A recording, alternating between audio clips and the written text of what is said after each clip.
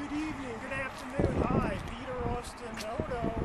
Today we're filming another episode of the Peter Austin Noto Show on M N N T